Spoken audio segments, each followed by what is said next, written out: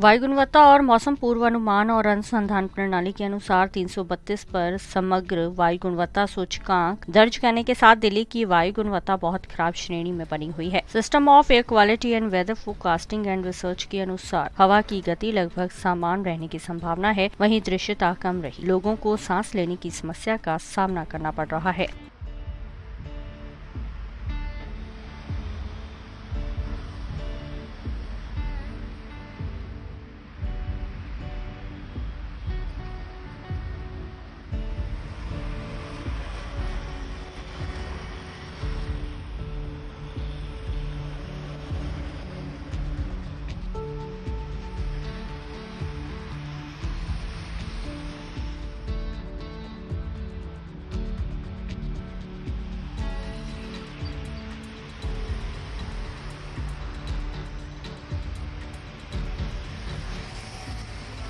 वो तो बहुत ही खराब अभी तो काफ़ी इम्प्रूव हो चुका है वरना बीच में तो बहुत खराब हो गया था।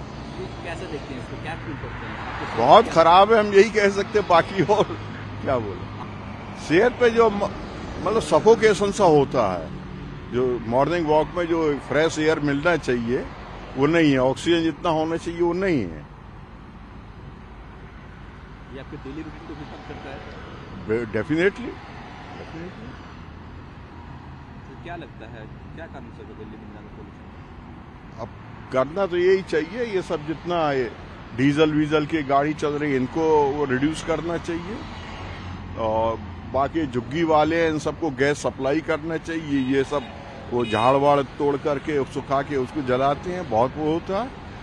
हो है। है कारण हो नहीं सकता है। हम तो देखते हैं ना वो साइड में जितने हैं इवनिंग टाइम में सब लेयर आ जाती है धुएँ की।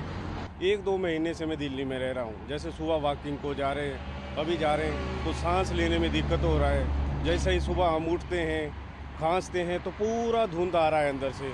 बहुत दिक्कत है इधर। सरकार को कुछ इनिशिएटिव लेना चाहिए, कुछ करना चाहिए आम जनमानस के लिए। बहुत दिक्कत फील कर रहे हैं सांस लेने में पहला प्रॉब्लम तो ये है कि हमारे को ब्रीथिंग का प्रॉब्लम आ रहा है। अब इसी उम्र में हमारे को है तो आप बुज़ुर्गों और बच्चों का तो समझ ही सकते हो।